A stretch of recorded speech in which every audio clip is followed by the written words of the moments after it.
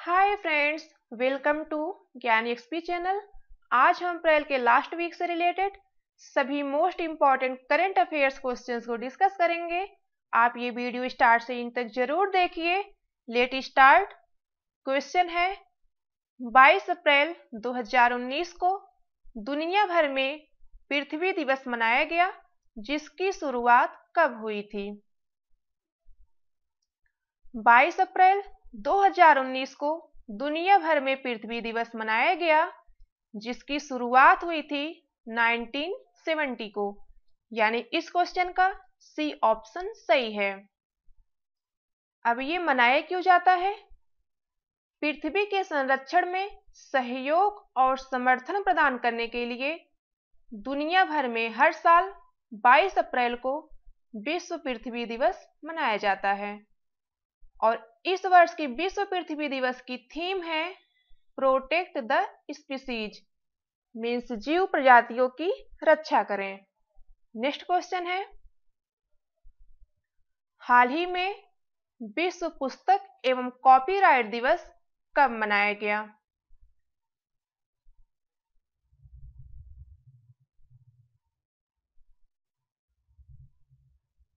हाल ही में विश्व पुस्तक एवं कॉपीराइट दिवस 23 अप्रैल को मनाया गया। यानी इस क्वेश्चन का डी ऑप्शन सही है। अब ये मनाया क्यों जाता है? साहित्य जगत के एक फ़ेमस राइटर थे विलियम शेक्सपियर उन्हीं की याद में हर साल 23 अप्रैल को विश्व पुस्तक एवं कॉपीराइट दिवस मनाया जाता है। शेक्सपियर अपने जीवन में लगभग 35 नाटक और 200 से अधिक कविताएँ लिखी है। उनकी इस उपलब्धि को देखते हुए यूनेस्को उन्नीस से हर साल 23 अप्रैल को विश्व पुस्तक एवं कॉपीराइट दिवस मनाता है। यहाँ से क्वेश्चन ये पूछा जाता है कि भारत में विश्व पुस्तक दिवस एवं कॉपीराइट दिवस मनाने की शुरुआत कब हुई थी? भारत में विश्व पुस्तक एवं कॉपीराइट दिवस मनाने की शुरुआत हुई थी 2001 में। विश्व पुस्तक दिवस को कॉपीराइट दिवस और अंतरराष्ट्रीय पुस्तक दिवस के नाम से भी जाना जाता है। नेक्स्ट क्वेश्चन है। हाल ही में विश्व मलेरिया दिवस मीन्स वर्ल्ड मलेरिया डे कब मनाया गया?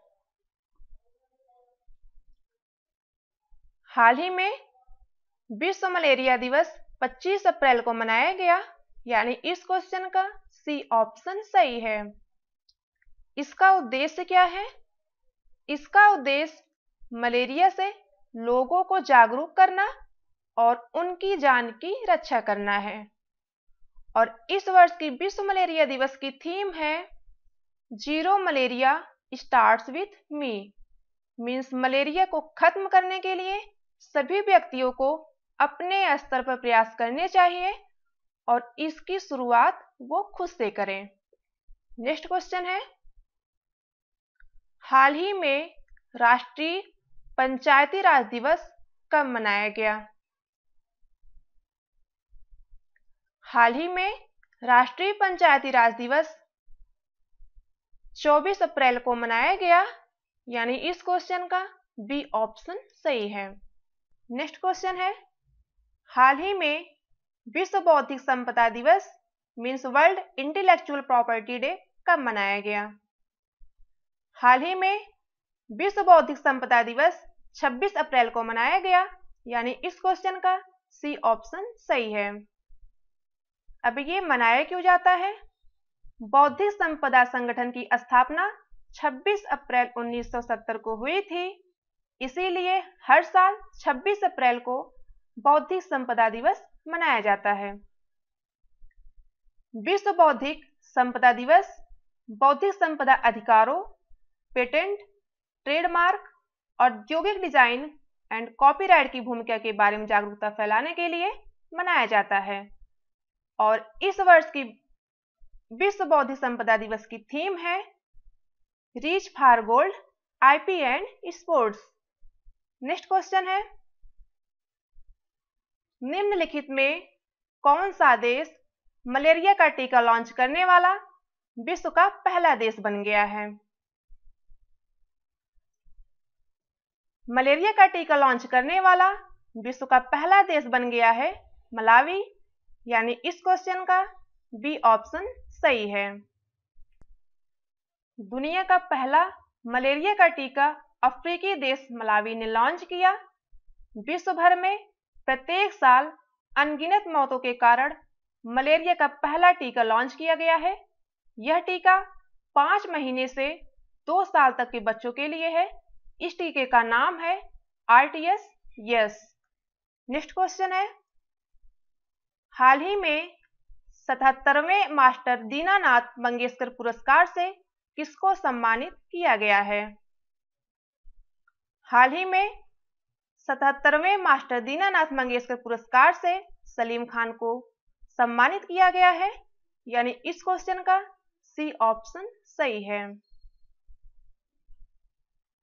24 अप्रैल 2019 को बॉलीवुड के मशहूर लेखक सलीम खान, फ़िल्म निर्देशक मधुर भंडारकर और अभिनेत्री हेलन को सतहत्तरवें मास्टर दीनानाथ मंगेशकर पुरस्कार से नवाजा गया। और दीनानाथ मंगेशकर थे कौन? दीनानाथ मंगेशकर मशहूर गायक लता मंगेशकर के पिता हैं। दीनानाथ मंगेशकर अपने समय के फ़ेमस मराठी थिएटर के एक्टर और गायक थे।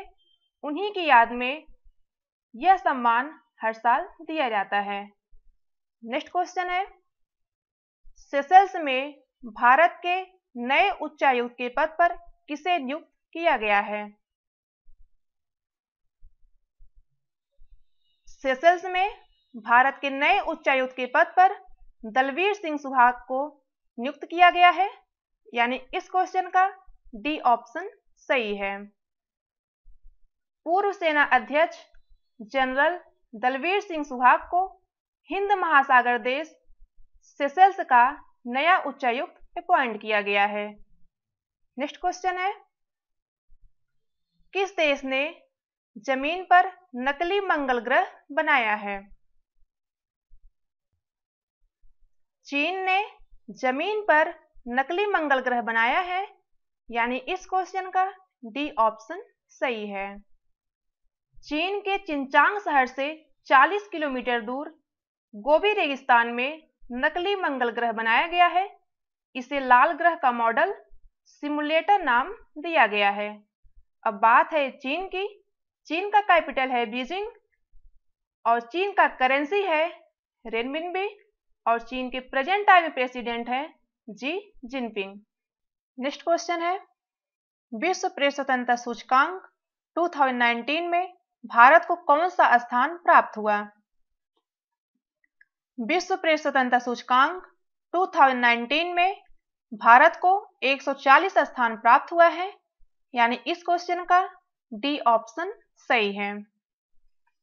अंतरराष्ट्रीय संस्था द्वारा 18 अप्रैल 2019 को विश्व प्रेस स्वतंत्रता सूचकांक 2019 का रिपोर्ट जारी हुआ। इस रिपोर्ट में भारत की रैंकिंग पिछले वर्ष की तुलना में दो स्थान पीछे मीन्स 2018 में 138 स्थान पर था और अब 2019 में 140वें स्थान पर पहुँच गया है। इस सर्वेक्षण में 180 देशों को शामिल किया गया है। इस सूचकांक में नॉर्वे प्रथम स्थान पर और फिनलैंड सेकंड स्थान पर। नेक्स्ट क्वेश्चन है। हाल ही में रॉयल सोसाइटी लंदन में शामिल होने वाली पहली भारतीय महिला वैज्ञानिक कौन है? हाल ही में रॉयल सोसाइटी लंदन में शामिल होने वाली पहली भारतीय महिला वैज्ञानिक हैं गगनदीप कंग, यानी इस क्वेश्चन का ए ऑप्शन सही है।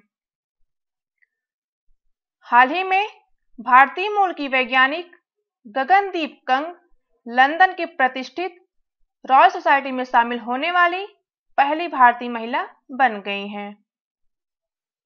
नेक्स्ट क्वेश्चन है। एशियन बॉक्सिंग चैंपियनशिप 2019 में किस मुक्केबाज ने स्वर्ण पदक जीता?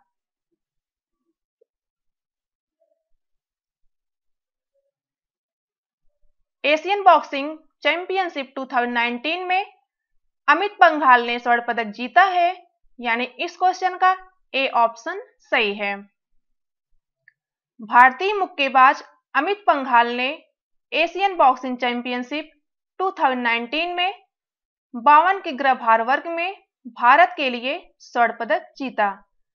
अमित पंघाल ने लगातार दूसरी बार स्वर्ण पदक जीता है। इससे पहले वर्ष 2017 में भी उन्होंने स्वर्ण पदक जीता था।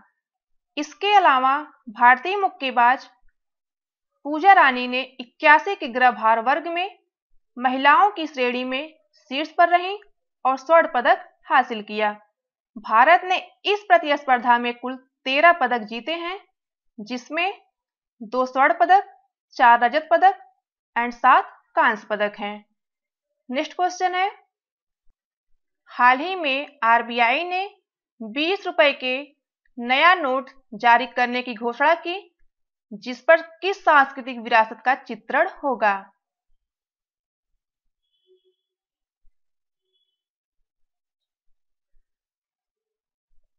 आरबीआई ने बीस रुपए के नया नोट जारी करने की घोषणा की है, जिस पर एलोरा की गुफा का चित्रण होगा, यानी इस क्वेश्चन का बी ऑप्शन सही है।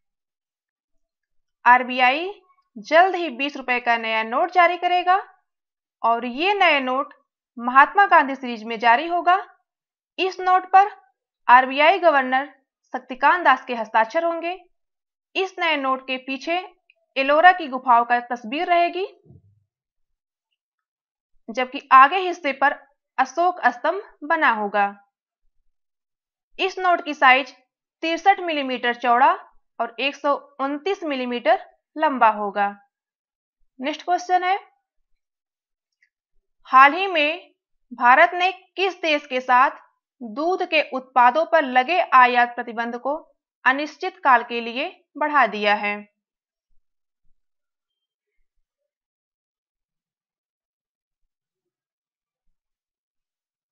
हाल ही में भारत ने चीन के साथ दूध के उत्पादों पर लगे आयात प्रतिबंध को अनिश्चित काल के लिए बढ़ा दिया है। यानी इस क्वेश्चन का सी ऑप्शन सही है। 23 अप्रैल को भारत सरकार ने चीन से आयात होने वाले चॉकलेट दूध और इसके उत्पादों पर रोक को अनिश्चित काल के लिए बढ़ा दिया है। प्रतिबंध पहली बार सितंबर 2008 में लगाया गया था। भारत दुनिया का सबसे बड़ा उत्पादक और उपभोक्ता देश है। नेक्स्ट क्वेश्चन है। हाल ही में संपन्न हुए एशियन एथलीट चैंपियनशिप 2019 में चीन, जो कि पहले स्थान पर रहा, ने कुल कितने पदक जीते हैं? एशियन एथलेटिक्स चैंपियनशिप 2019 21 से 24 अप्रैल तक दोहा, कतर के खलीफा इंटरनेशनल स्टेडियम में आयोजित किया गया, जिसमें चीन 29 पदक के साथ प्रथम स्थान पर और बहरीन 22 पदक के साथ सेकंड स्थान पर, जबकि जापान 18 पदक के साथ थर्ड स्थान पर। यानी इस क्वेश्चन का ए ऑप्शन सही होगा। नेक्स्ट क्वेश्चन है हाल ही में संपन्न हुए एशियन एथलीट चैंपियनशिप 2019 में भारत ने कुल कितने पदक जीते? एशियन एथलेटिक्स चैंपियनशिप 2019 में भारत ने कुल 17 पदक जीते हैं, जिसमें तीन स्वर्ण, सात रजत और सात कांस्य पदक हैं। यानी इस क्वेश्चन का ए ऑप्शन सही है। नेक्स्ट क्वेश्चन है। एशियन एथलीट चैंपियनशिप 2019 में किस भारतीय एथलीट ने स्वर्ण पदक जीता? एशियन एथलेटिक्स चैंपियनशिप 2019 में भारत की तरफ़ से गोमती मारी मुथु 800 मीटर की दौड़ में, तेजिंदर पाल सिंह तौर ने पुरुषों की 60 फुट स्पर्धा में और पीयू चित्रा महिलाओं की 1500 मीटर स्पर्धा में स्वर्ण पदक जीता है। यानी इस क्वेश्चन का डी ऑप्शन सही है, उपरोक्त सभी। नेक्स्ट क्वेश्चन है। आईएसएसएफ विश्व कप 2019 में 10 मीटर एयर पिस्टल मिश्रित स्पर्धा में किस भारतीय जोड़ी ने स्वर्ण पदक जीता? आईएसएसएफ का फुल फॉर्म होता है इंटरनेशनल शूटिंग स्पोर्ट्स फेडरेशन विश्व कप 2019 में 10 मीटर एयर पिस्टल मिश्रित स्पर्धा में मनु भाकर और सौरभ चौधरी की जोड़ी ने स्वर्ण पदक जीता है। यानी इस क्वेश्चन का ए ऑप्शन सही है। आईएसएसएफ निशानेबाजी विश्व कप 2019 बीजिंग में आयोजित किया गया। भारत के मनु भाकर और सौरभ चौधरी की जोड़ी ने 10 मीटर एयर पिस्टल मिश्रित स्पर्धा में शीर्ष स्थान पर है। मनु भाकर और सौरभ चौधरी ने फाइनल में चीन के जियांग, रैक्सिन और पांग वेई को 16 छह से हराया है। मनु भाकर और सौरभ चौधरी का यह 10 मीटर एयर पिस्टल मिश्रित टीम स्पर्धा में दूसरा स्वर्ण पदक है। इसके पहले यह गेम फरवरी में आयोजित किया गया था। नई दिल्ली में इसमें भी मनु भाकर और सौरभ चौधरी ने स्वर्ण पदक जीता था। नेक्स्ट क्वेश्चन है आईएसएसएफ विश्व कप 2019 में 10 मीटर एयर पिस्टल एकल स्पर्धा में किस भारतीय ने स्वर्ण पदक जीता? आईएसएसएफ निशानेबाजी विश्व कप 2019 भारत के अभिषेक वर्मा ने 10 मीटर एयर पिस्टल एकल स्पर्धा में स्वर्ण पदक जीता है। यानी इस क्वेश्चन का डी ऑप्शन सही है। नेक्स्ट क्वेश्चन है। वरुण 19 नौसैनिक युद्धाभ्यास का आयोजन भारत और किसके मध्य आयोजित किया जा रहा है?